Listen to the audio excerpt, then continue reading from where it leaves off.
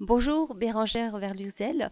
Nous sommes euh, au théâtre euh, Présence Pasteur où vous donnez fragments. Euh, ce sont des textes d'Anna Arendt dans une mise en scène de Charles Berling. fragments, donc ce sont des fragments de textes.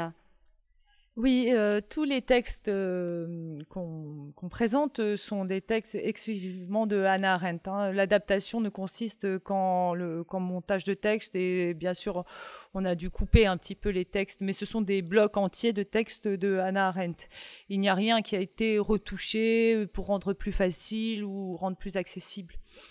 On a choisi bien évidemment, on avait un fil rouge quand j'ai choisi les textes, mais voilà, c'est une, ce sont des fragments euh, qui viennent euh, de, toute son œuvre euh, en entier, et également de, ce, de ses interviews et de ses poésies. Je me doute que le choix n'a pas dû être facile.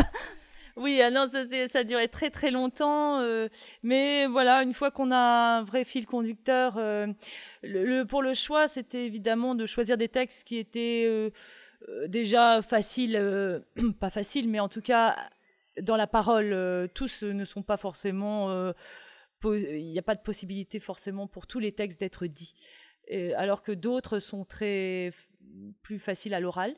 Ça, c'était une des premières. Euh, des premiers choix et puis évidemment le sens et nous notre fil c'était la pensée c'est comme ça qu'on commence d'ailleurs le spectacle et c'est ça qui en fait a déclenché mon envie de de faire cette, cette adaptation c'était une interview qu'elle donnait en disant je, je me, je, comment faire naître le désir de penser chez, chez, les gens.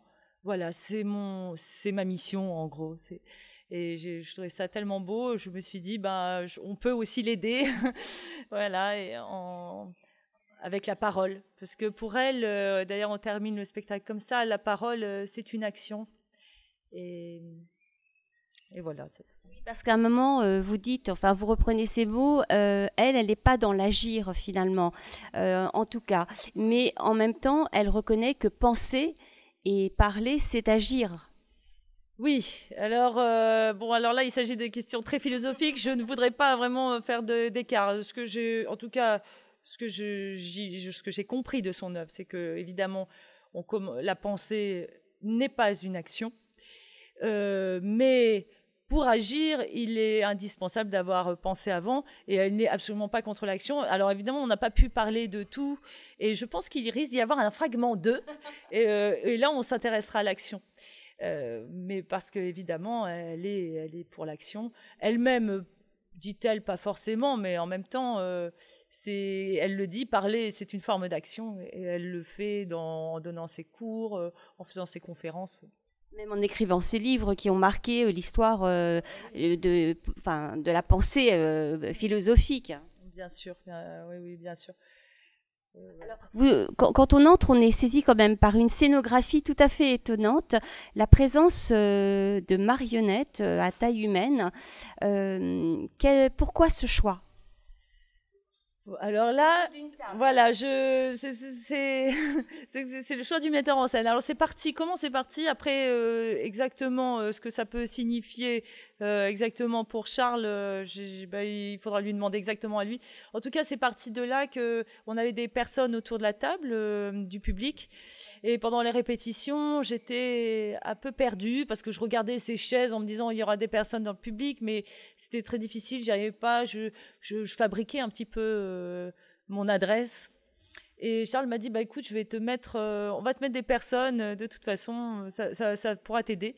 Et puis on a trouvé ça fort comme voilà sur les hommes superflus. Ça ça, avait, ça évoquait quelque chose euh, de fort, et d'autant plus fort quand euh, euh, les enfants sont assis autour de cette table à côté d'eux, parce qu'il y a la version aussi avec des enfants.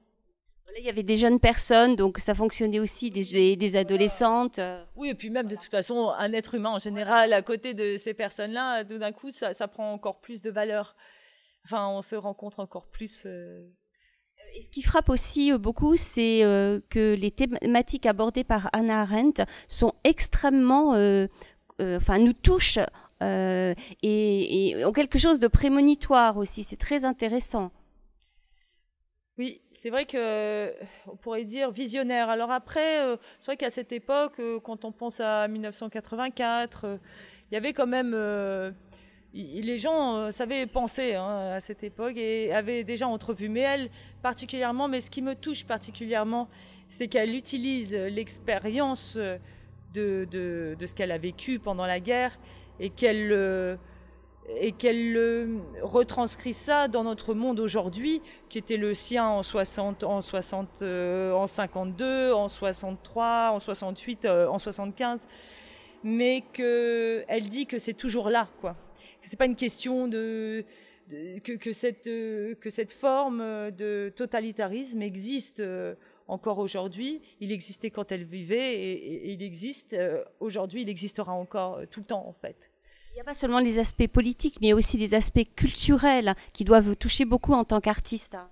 Ah oui, alors le texte de la culture de masse, euh, effectivement, ça c'est un texte très fort. D'ailleurs, c'est le texte un petit peu où, je m'emporte un peu, parce qu'en plus, c'est vrai qu'après la période qu'on a vécue, là, de ce désert euh, culturel, mais aussi pour les artistes. Euh, et ce, cette parole euh, qu'elle donne en disant c'est l'artiste qui demeure le dernier individu dans une société de masse, c'est l'artiste. Et je trouve que cette parole, elle est tellement réconfortante parce que on a tellement. C'est vrai que le, elle parle de la culture qui devient loisir et, j'ai toujours eu cette impression, malgré tout, de divertissement, euh, même, même pour des choses parfois euh, quand même, euh, comment dire, qui sont bien traitées, mais c'est la façon dont on les traite.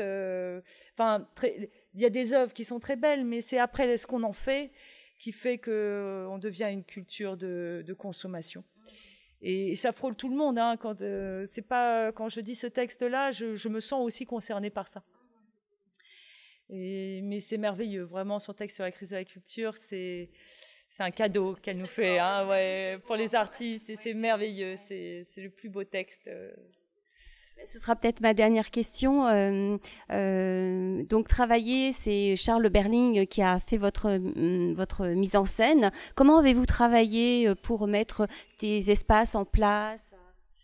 Euh, Pour les espaces, ça s'est fait vraiment. On a créé euh, au jour le jour. C'est-à-dire que Charles est arrivé, on a commencé par une petite table où on était d'ailleurs tous les deux.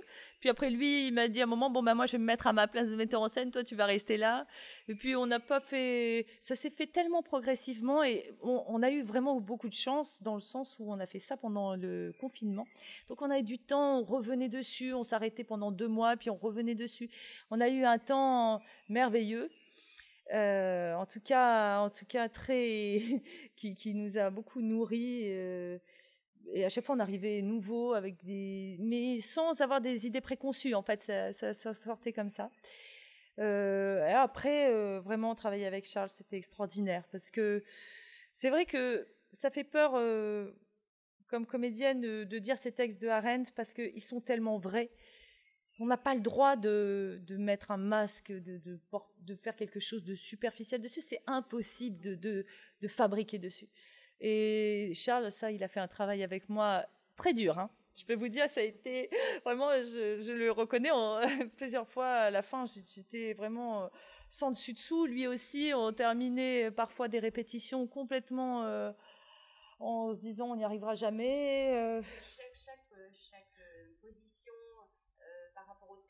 Y a une espèce de, de musicalité aussi hein, qui se met en place. Mmh. Où, on sent que c'est un travail qui est très fignolé, euh, ah. qui a été, euh, oui, c'est un, un, très joli travail. Ah, merci. Et qui met le texte de, de Hannah Arendt euh, en valeur, qui fait que pour le spectateur, euh, le, le, texte est totalement accessible. Il y a des, des moments très joyeux d'ailleurs aussi.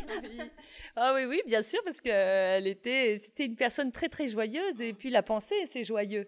Hein, euh, enfin, la pensée, c'est joyeux. En tout cas, c'est euh, même en le faisant, je me rends compte que penser, c'est jubilatoire. Hein.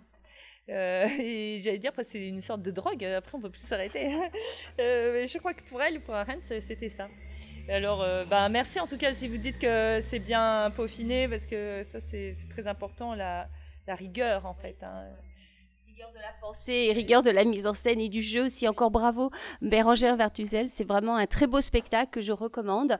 Euh, et voilà, donc nous sommes encore une fois à Présence Pasteur et vous jouez tout jusqu'à la fin d'Avignon. Oui, jusqu'au 28. On s'arrête un petit peu avant la fin, et sauf les jeudis. Voilà, et c'est à 11h du matin bien pour se réveiller. On commence la journée. Merci beaucoup et bon Avignon.